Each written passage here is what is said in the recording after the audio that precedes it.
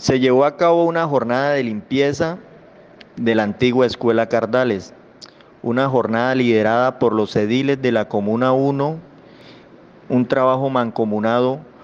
con la Secretaría de Medio Ambiente y Centro de Convivencia Ciudadana. Igualmente agradecer a las empresas Veolia y a bomberos voluntarios por su apoyo en esta importante actividad.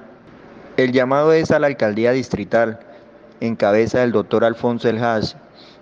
y al secretario de Educación, el señor Richard Triana,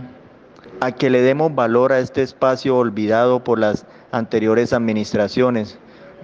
que se convierta en un espacio útil para la comunidad,